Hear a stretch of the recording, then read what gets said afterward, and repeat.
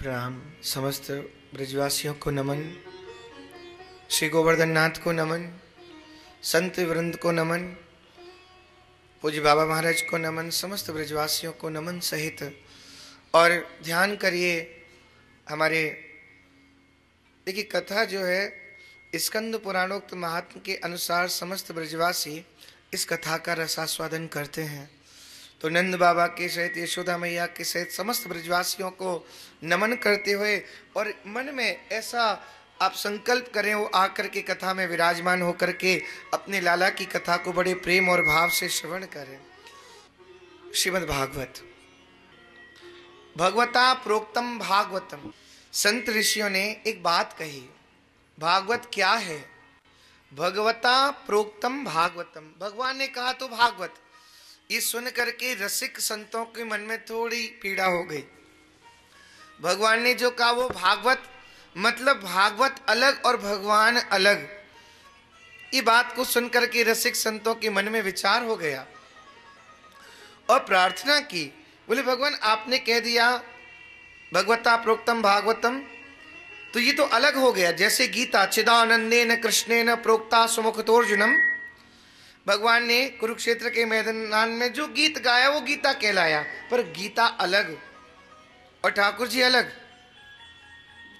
तो भागवत अलग हो, ये बात सुन करके रसिक संत दुखी हो गए। संतों ने फिर दूसरा एक भाव कहा। बोले, भगवता प्रोक्तम भागवतम नहीं, भगवद अयम भागवतम।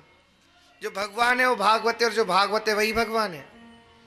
तो कहा देखिए, शंका करने वाले तो कभी चूकते नहीं। वो ठाकुर जी में भी शंका कर जाते हैं, संतों में भी शंका कर जाते हैं। तर्क भी कर जाते कभी कभी कुतर्क भी कर जाते, जो अपराध है। ये ठाकुर की लीला को तो महाराज कहते ना, नेत्र बंद करके बड़े ध्यान पूर्वक श्रवण करिए और मन में विश्वास करिए। हमारे सदगुरुदेव जो कह दें जैसा कह दें, विश्वास हो गुरु वाक्य वाक्यशु। पर गुरु की वाक्यों पर विश्वास, ठाकुर की चरित्र पर विश्वास, भगवान के जो प्रमाणित शास्त्र हैं, उनके ऊपर विश्वास हमें करना चाहिए। जब ऋषियों ने कहा भगवत अयम भागवतम जो भागवत है वो भगवान है, जो भगवान है वो भागवत है, लोगों ने शंका कर दी। एक बात तो बताओ, कैसे ये एक हो सकते हैं? कुछ तो प्रमाण आप दीजिए। तो शास्त्रों को, श्रुति भगवतियों को, वेदों को खोजा गया। और वेदों ने भगवान के अंग बताए। ठाकुर जी कितने अंग के हैं? द्वादशांगो वही पुरुष। हमारे शास्त्र कहते हैं भगवान बारह अंग के हैं। अच्छा भगवान बारह अंग के हैं ना? तो भागवत में भी बारह स्कंद है। भगवान शब्द में चार अक्षर, भागवत शब्द में भी चार अक्षर। भगवान शब्द भी भा से आरंभ, भागवत भी भा से आरंभ। और हमारे संतों बताते हैं, प्रथम स्कंद, बाया चरण, द्वितीय स्कंद, दाया चरण, तृतीय स्कंद, दक्षिण, उरु, चतुर्थ स्कंद, वाम, उरु, ऐसे ठाकुर जी के सर्वांग का हमारे दर्शन करते हैं। दो मिनट, आप लोग संकीर्तन कर ले, वहाँ आरती हो रही है। श्रीराधे राधे गोविन्द गोविन्द राधे। राधे राधे गोविन्द गोविन्द राधे। गोविन्द राधे गोपाल राधे।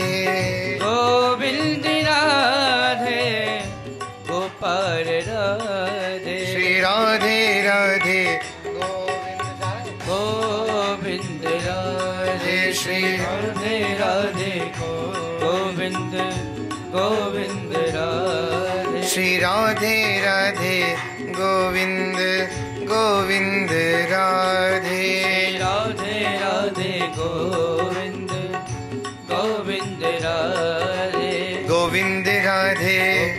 राधे। गोविंद राधे। ओ गोविंद राधे। राधे। गोविंद राधे। राधे। राधे राधे गोविंद। राधे। राधे गोविंद गोविंद राधे। श्री राधे राधे गोविंद।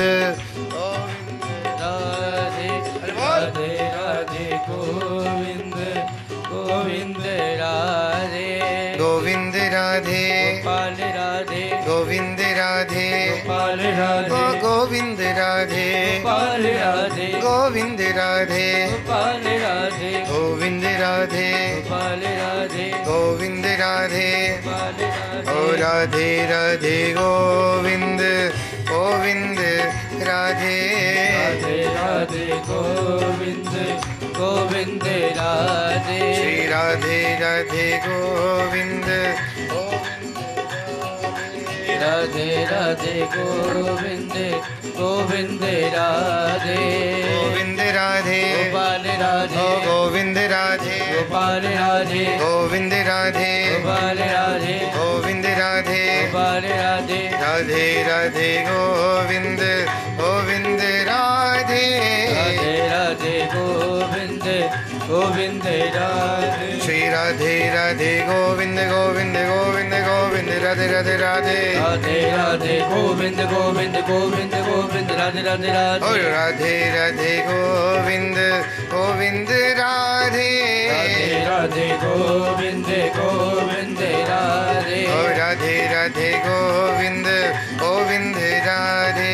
राधे राधे गोविंद गोविंद राधे। ओ राधे राधे गोविंद गोविंद राधे।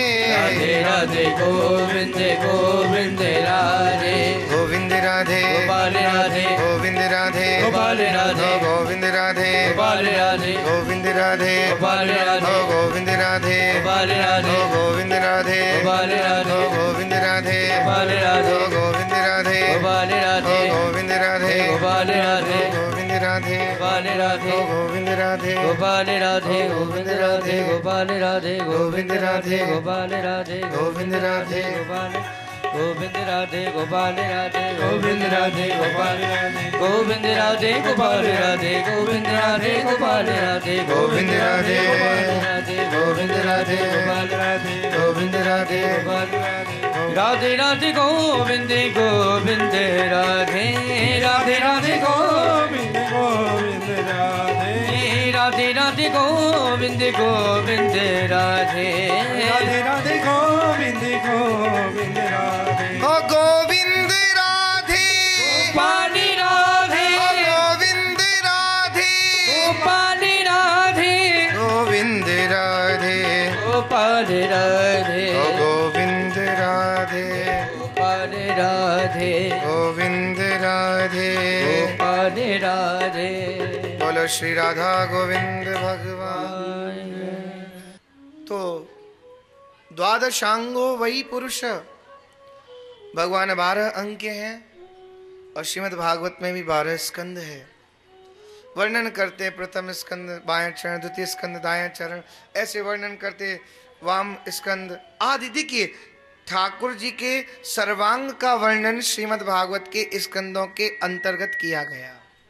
और श्री गोवर्धन नाथ का हम लोग दर्शन करें श्री श्रीनाथ जी की जो भुजा है ना हाँ? ये एक, दो, तीन, चार, पाँच छ सात, ये सातवां स्कंद है जो सब भक्तों को अपनी ओर बुला रहे हैं। एक बार प्रश्न किया, गुसाई विठल नाथ जी ने कहा जे जय, आप हाथ को ऐसे ऊपर उठा के रखो एक हाथ को आप ऐसे रखो आप ठाड़े रहो, आपको कष्ट ना होए। ठाकुर जी ने बड़ी सुंदर बात कही। बोले, आचार्य, बात यह है, मैं ठाड़ो तो याली रहूँ, मैंने अपने भक्तन सो कह रखी है, जो तू आवे एक पग तो मैं आऊँ पग साठ। जब भक्त मुझसे मिलवी के लिए आगे बढ़े ना तो मैं साठ कदम आगे वासों बढ़ जाऊँ। अब वाने कहीं दूसरा अपना चरण रख दिया मुझे उठवे में देरी है गई तो बाकी झूठो है जाएगा। मैं खड़ा रहूँ। और नाथ, आप जो ये एक हाथ ऐसे और एक हाथ ऐसे। देखिए, ये जो भाव है ना, पहली बात तो गोवर्धन नाथ का भाव है ही। द्वितीय बात, ये हाथ से ना ठाकुर जी सबको बुला रहे सर्वधर्मान परित्यज मामेकम शरणम रज आओ सब धर्म छोड़ करके मेरी शरण में आओ। अब आजकल तो बिज़नेस का जमाना है ना। अब देखते हो बड़ी परिक्रमाएँ लगती हैं।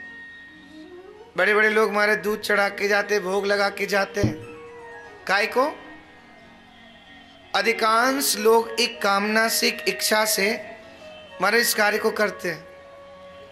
ठाकुर जी, मेरा ये काम है, जाएगा तो तेरी एक दंडोती तेरी एक परिक्रमा। हाँ बोलते हैं ना। तो भगवान से कहेंगे, अब आप एक बात तो बताओ हम सब कुछ छोड़ करके आपकी शरण में क्यों आए? हमें क्या मिलेगा? ठाकुर जी कहते, चिंता न करो। अहंत्वा सर्व पापे भ्यो मोक्ष श्यामी माँ सुच आओ, मेरी शरण में आओ। मैं तुम्हारे सारे पापों को नष्ट करने को तैयार हूँ। अर्जुन से इशारा भी करते, सब धर्म तज के अर्जुन, मेरी शरण में आ जा। सब धर्म का यही फल है, मेरी शरण में आ जा। तो ये जो हाथ है ना, ये बुला रहा है। आओ। अच्छा कोई भक्त पहुँच जाए तो? कहते रसिक संत, जैसे ही पहुँचता है ना, ठाकुर उसको गोद में उठा के, ये जो भाव है ना, ये बालक को जैसे माँ कई बार प्रेम से ऐसे झूला झुलाती है ना, ठाकुर जी कहते जो मेरी शरण में आ जाए, हा? मैं सदा सर्वदा काल के लिए उस भक्त को, उस वैष्णव को ऐसी अपनी बाहों का झूला बना करके झुलाता रहता हूँ। और मानस में चौपाई भी है। करो सदा तिनके रखवारी, जिमी बालक राखे में तारी।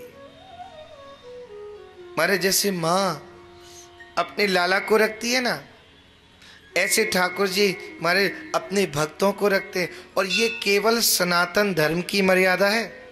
ध्यान दीजिए। अन्य धर्मों में बड़ी बात होती है, किसी धर्म की निंदा नहीं कर रहे। अन्य धर्मों में इस बात को ज़्यादा स्वीकार नहीं किया गया। ये हमारे ठाकुर जी हैं, जो कभी मैया भी बन जाते हैं कभी हमारे पिता भी बन जाते हैं, सखा भी बन जाते गुरु भी बन जाते माता रामो मत, पिता रामचंद्र, स्वामी रामो मत, सखा रामचंद्र सर्वस्व में रामचंद्र दयालो नान्यम जाने नहीं जाने, न जाने। अभी एक चर्चा आई थी थोड़े दिन पहले वो कहते हैं, हमारे जो परमात्मा है, वो केवल पुरुष शब्द क्यों आता है उनके लिए? माता शब्द नहीं आता, और सच्ची बात है।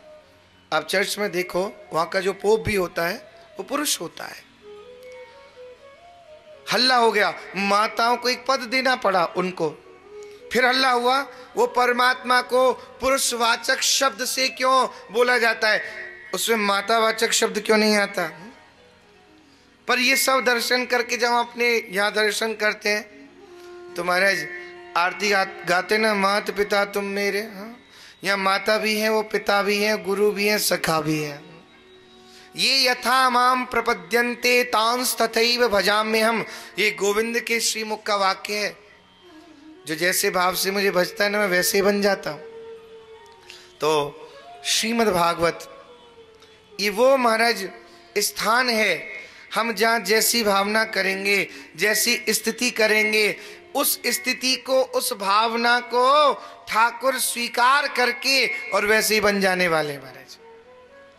तो ये सातवां स्कंद है, ये आपको बुला रहा है। आओ, मेरी शरण में आओ। तो भगवता प्रोक्तम भागवतम नहीं, भगवद अयम भागवतम। ऐसा संतों ने इसे स्वीकार किया। श्रीमद् भागवत के महात्म को दो पुराणों में लिखा गया है। एक तो स्कंद पुराणोक्त महात्म, एक पद्म पुराणोक्त महात्म। और स्कंद पुराण में चार अध्याय में श्रीमद् भागवत के महात्म को लिखा गया। पद्म पुराण में छह अध्याय में श्रीमद् भागवत के महात्म को कहा गया। और महाप्रभु वल्लभाचार्य जी ने पद्म पुराण से ज़्यादा स्कंद पुराणोक्त महात्म क्यों विशेष माना। आप कहोगे क्यों? पद्म पुराण का मतलब है मुक्ति आदि हो जाना। और स्कंद पुराणोक्त महात्म कहता है, नित्य लीला में प्रवेश हो जाना। अब नित्य लीला क्या होती है, ये आप ब्रजवासियों को बताने की आवश्यकता नहीं है। आप सब जानते हैं। ठाकुर का नित्य रास नित्य लीला कभी नष्ट नहीं होती। आज भी भगवान माखन की चोरी कर रहे हैं। आज भी ठाकुर गौचारण कर रहे हैं। आज भी गोविंद अपने सखाओं के संग खेल खेल रहे हैं। आप कहोगे, भाई, दर्शन काय को नहीं होता? ये दर्शन इसलिए नहीं होता क्योंकि उस भाव से हमने ठाकुर की कथा को नहीं सुना। सब प्रमाणित करते हैं, यदि नित्य लीला में प्रवेश चाहते हो तो ठाकुर की कथा सुनो। तो स्कंद पुराणोक्त महात्म से हम ठाकुर की कथा आरंभ करते हैं। देखिए 125 वर्ष की अवस्था तक ठाकुर जी आकर के यहाँ भूलोक पर लीला करते हैं। उससे पहले अपनी नित्य लीला में रहते हैं और नित्य लीला में ही प्रवेश कर जाते हैं। आने का क्रम क्या? और क्या विषय बना जो ठाकुर आते हैं? एक दिन राधा माधव दोनों बैठे थे, गौलोक धाम की लीला। श्री राधा रानी ने कहा, हे प्रभु, ये जो भूलोक के जीव है ना, ये कष्ट पाए रहे हैं। आप ऐसो कछु करो कि जिनसो इनकी कष्ट की निवृत्ति होए। ठाकुर जी बोले, एक ही उपाय है। हम भूलोक पे जाएँ और पुनः अपनी लीलान को अनुकरण करें, लीला करें। श्री जी ने कहा, या तो सुंदर और बात कहा होगी अच्छा अनुमति मिल गई राधा रानी की। ठाकुर जी बोले, अब सायंकाल में मैं आपके समीप आऊँगा। ऐसा कहकर के ठाकुर जी चल दिए। अच्छा जैसे ही आ रहे थे ना तो जाते जाते एक बात कह गए। बोले, ऐसे के वह में आपको थोड़ा कष्ट होएगा। श्री जी ने तुरंत कह दिया, मेरे एक कष्ट सहन करवेश यदि इतने जीवन को कल्याण होए मो को स्वीकार है। सायंकाल में जैसे नंद नंदन आ रहे थे तो गौलोक में वहाँ की अधिष्ठात्री देवी है, जिनका नाम है बिरजा। बिरजा ने ठाकुर को रोका और कहा, भगवान, एक प्रार्थना। बोले, बोल बिरजा, कहा बात है? बोले, राधा रानी के समीप आप जा रहे हैं, वहाँ तो आप नित्य जाओ। ऐसी कृपा करो, लाल नेक देखिए, भवन हमारो। आप मेरे घर में पधारो। शीतल सुभग सिंहासन बैठो, अविचल राज तिहारो। आय के मेरे सिंहासन पे विराजो। मेरी कछु सेवा को स्वीकार करो। ठाकुर जी ने तुरंत कहा, बिरजा, यदि मैं तेरे यहाँ रुक गए हो ना, राधा रानी मान करके बैठेंगे। पता नहीं बिरजा के मुख से क्यों निकल गया। आप चिंता मत करो, वो मान करके बैठेंगी तो मैं मना लूँगी। अब भगवान ने प्रवेश किया बिरजा के घर में। अच्छा जब प्रवेश किया बिरजा ने द्वार बंद कर लिया। और ठाकुर जी की सेवा करने लग गई। इधर जब नित्य रास का समय हुआ, श्याम सुंदर नहीं पहुँचे, राधा रानी ने ललिता जी को भेजा, जाओ और जाकर के देखो, हैं कहा, आए क्यों नहीं? जैसे ललिता जी बिरजा के घर के आगे से निकली ना, उनको मोरपंख की झलक दिखाई दी। उनके कानों में नूपुर की ध्वनि गई। और वंशी निनाद गोविंद कर रहे थे। उस ध्वनि को सुना तो बिरजा के घर के आगे ललिता जी रुक गई। और बिरजा से कहती हैं, क्या तुम्हारे यहाँ नंद नंदन है? श्याम सुंदर है? यद्यपि गौलोक में असत्य भाषण नहीं किया जाता, पर ठाकुर के प्रेम में आज बिरजा ने झूठ बोल दिया। ललिता जी मेरे ऐसा सौभाग्य कहा? जो श्याम सुंदर मेरे घर में आमे। ललिता ने कहा झूठ तो ना बोल सके। अपनी शंका को मैं समाधान करूँ। मैंने आपके यहाँ मोरपंख की झलक देखी। फिर झूठ बोला बिरजा ने आप ना वन में कई मयूर को मोर को नाच तो भयो देखती आई हो। या लिए आपको सब जगह मयूर मयूर दिखाई दे रहे, मोर दिखाई दे रहे। बोल तेरे यहाँ वंशी की आवाज़ आ रही है। हम्म, मेरे घर में ना मेरे घर के पीछे कोई सखा वंशी बजाए रहे होगा। ललिता जी फिर बोली बिरजा तेरे घर में सो मुकुंद नूपुर की ध्वनि आ रही है। बिरजा ने फिर झूठ बोला मेरे रसोई में बर्तन गिर गए। हम्म? इवा की आवाज़ है नूपुर की आवाज़ ना है। ललिता ने कहा इन्होंने रहकर गौलोक में असत्य भाषण कर दिया। श्री राधा रानी के पास जाकर के कहा, श्री जी आई। अच्छा जब श्री जी आ रही थी, घबरा गई। बिरजा अब कहती है, श्याम सुंदर, अब आप कोई उपाय करो। बोले काय का उपाय? बोले, वो क्रोध करके आ रही हैं। बोले, तुम जाके मनाओ। बोले, मेरी सामर्थ कहाँ? बोले, तेरी सामर्थ नहीं तो मैं रोको काय कूते ने? बोले, अब तो आप ही कोई उपाय करो। श्याम सु... ये लीला प्रकरण चल रहा है। काय का ये भूलोक पर आना है। ठाकुर ने और एक लीला करा दी। एक काम कर। तू अपने आँगन में जल है जा। जल रूप हो और वह जल में मैं छिप जाऊँगा। पर एक बात को ध्यान रखियो। मेरो श्याम वर्ण है। याई रंग को तू जल है जाइयो। बिरजा ने कहा, ठीक है भगवान। बिरजा जैसे ही जल रूप हुई, श्याम सुंदर उसमें प्रवेश कर गए। अजय राधा रानी से क्या छिपा है? देख लिया बिरजा को जल रूप में। कहा, पहला तुम्हारा अपराध गौलोक में रहकर तुमने असत्य भाषण किया। दूसरा अपराध, एक अपराध को छिपाने पर और अपराध मैं श्राप देती हूँ। इसी वर्ण को, इसी स्वरूप को धारण करके या गौलोक से निकल के भूलोक पर जाओ। और श्राप दे करके श्री राधा रानी आ गई। बिरजा बहुत रोई। बोले, भगवान, मैं सब कष्ट सहन कर सकूँ, किंतु नाथ, आपको मैं वियोग सहन नहीं कर सकूँ। श्याम सुंदर ने बहुत देर सोचा और कहते, बिरजा, चिंता मत कर। तू जा भूलोक पे और भूलोक पे जा। तेरो नाम होएगा यमुना। बोलो, श्री यमुना महारानी की और देख जब मैं जन्म लेके आऊँगा ना, सबसे पहले मेरे चरण को स्पर्श तू ही करेगी। आनंदित हो गई महाराज यमुना जी। फिर पूछा, एक बात तो बताओ नाथ, क्या मैं चरण स्पर्श करके रह जाऊँगी? अन्य लीलाओं में आप मुझे दर्शन नहीं देंगे। ठाकुर जी बोले, चिंता मत कर। मैं ब्रज की जितनी लीला है ना, वो सब तेरे समीप में करूँगा। चाहे कंदुक लीला हो, काली देह पे खेलन आयो री मेरो बारह सौ का नहीं आ ठाकुर जी यमुना में पहुँच जाते थे। अब यमुना जी का थोड़ा लोभ और बढ़ गया। जिम प्रति लाभ, लोभ अधिकाई कहती हैं, एक बात तो बताओ, जब तक आप ब्रज में रहोगे, तब तक तो है ठीक। और जब मथुरा चले जाओगे तो? लोग क्या कहते भैया, कोई कहीं सुनवाई नहीं है। हा? कह देते हैं ना। दुनिया में अब सुनवाई नहीं है। हाँ ये एक ऐसा स्थान है, यहाँ सुनती हैं। इसलिए श्रणोती अच्छा क्या सुनती हैं?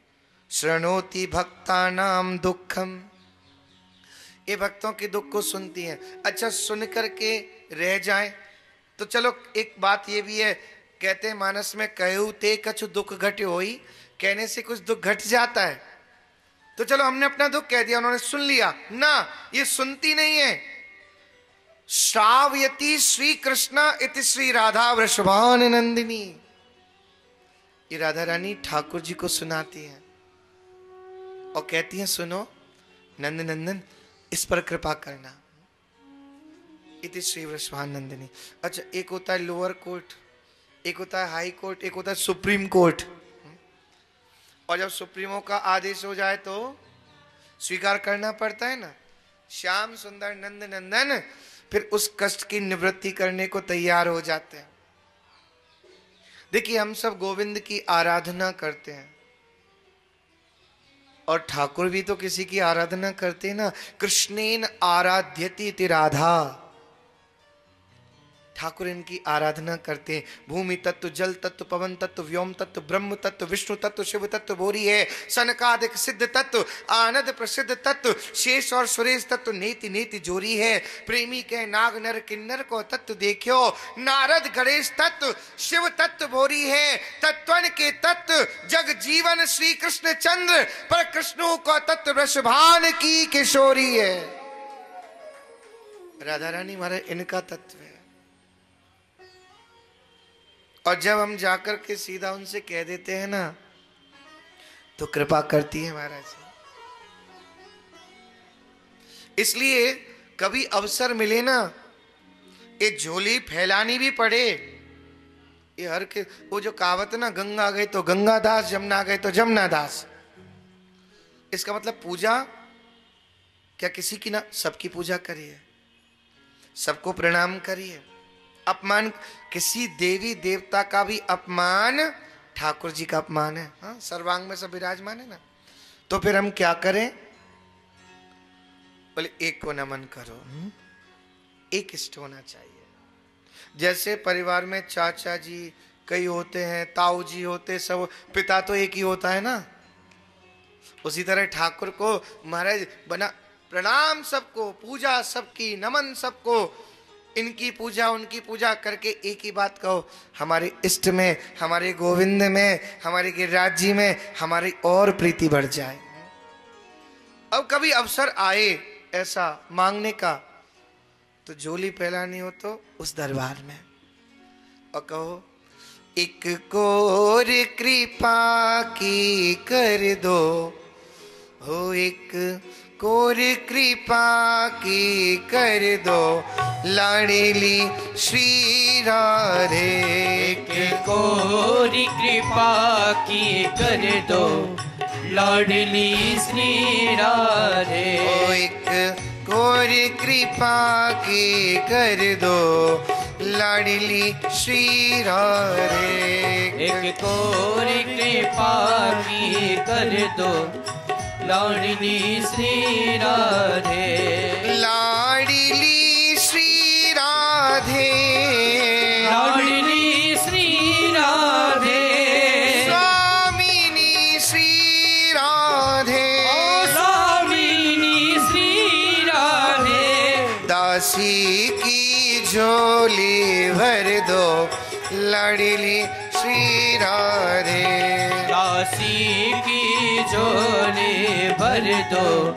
स्वामिनी श्री राधे। ओ दासी की झोली भर दो। स्वामिनी श्री राधे। दासी की झोली भर दो। स्वामिनी श्री राधे।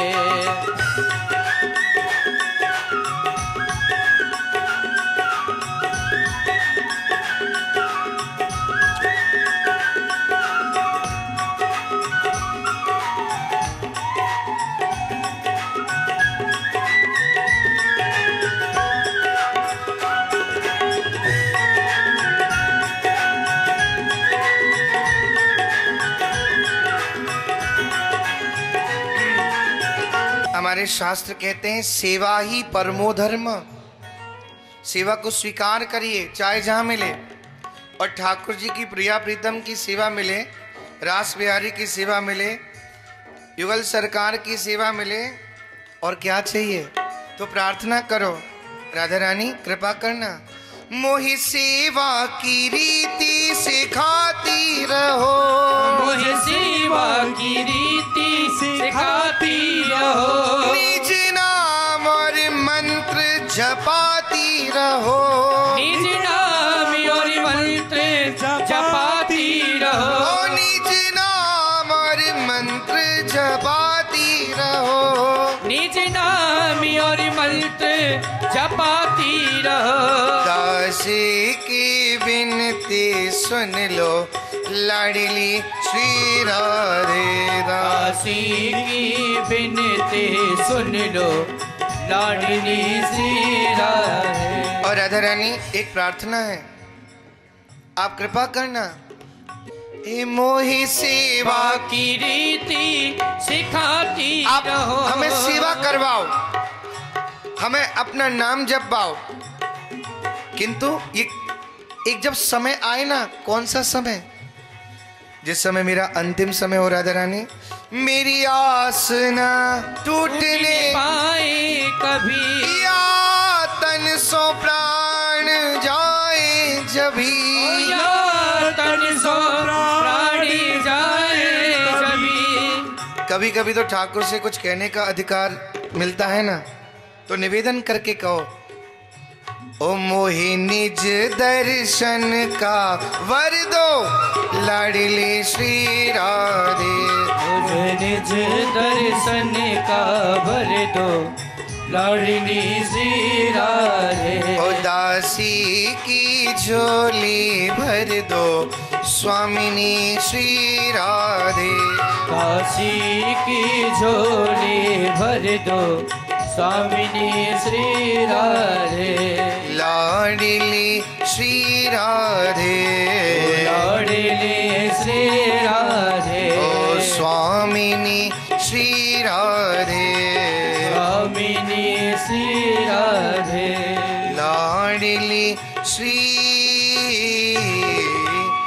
राधे